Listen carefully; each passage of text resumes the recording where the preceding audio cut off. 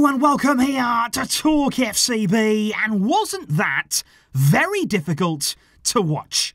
Tonight, Barca have been defeated by Rayo Vallecano, and you know what? They completely and utterly deserve that. I think tonight from Barca, it was not only a poor performance, but an embarrassing performance. This was a performance tonight that showed no fight, no desire, no cohesion. I mean, the kind of football that we were seeing, the kind of passing it was non existent. Tonight out there for Barca, we couldn't find a teammate. We couldn't string sort of two or three passes together. There were so many long balls throughout the duration of the game. And the only real consolation that you'd say we had from this game was the goal from Robert Lewandowski there just a few minutes before the end of the game. That was a great finish, you've got to say. Let's hope that inspires some confidence from him. He also had one ruled out earlier on in the first half that really did look marginal but if you look at the goals that we can see tonight, guys, you know, the way that Rayo cut through us, and actually the second goal, it's an embarrassment there. That one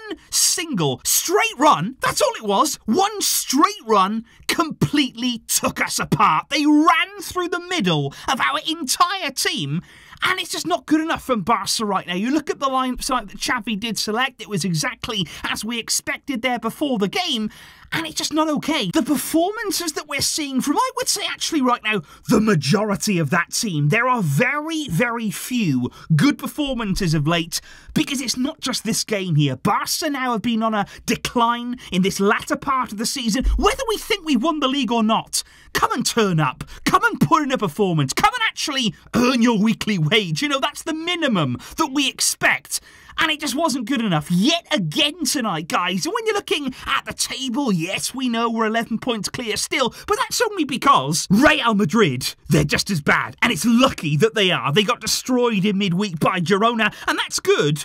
But this from us right now is crawling over the line. We're not winning this league in style. We're not showing what we're capable of. We're not showing the kind of form that we did earlier on in the season. And there are still seven games to go. And I just don't really see right now when these performances are going to turn around this season. Are we going to be able to flip that switch to turn up the intensity again? We have to, but we are not seeing it right now. What I want to know in today's video, guys, and ahead of tomorrow, let me know your questions down below, based on not only the performance tonight, but actually what we've seen over the past few weeks, and especially ahead of the summer. What questions are swirling around your mind right now? What are you wondering and thinking about with regards to this Barca team and these Barca players? Let me know all of those questions down below, and tomorrow I will be back for a full video, a full full breakdown as we go through it all. And thank you indeed to all of you who tuned in here. Late it is tonight. We've stayed up late for it,